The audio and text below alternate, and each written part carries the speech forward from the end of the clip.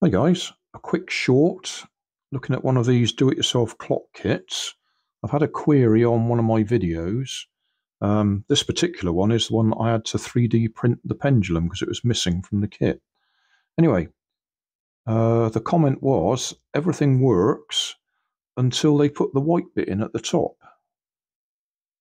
Uh, I can't remember what it's actually called, that bit, but that's the bit that catches on one tooth which lifts the other side up and releases it, and then it drops down and uh, is it called a detent or something?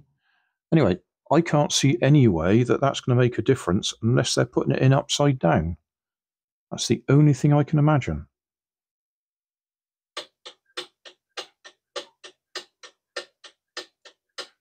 I can't see any other way that putting that in will stop it working.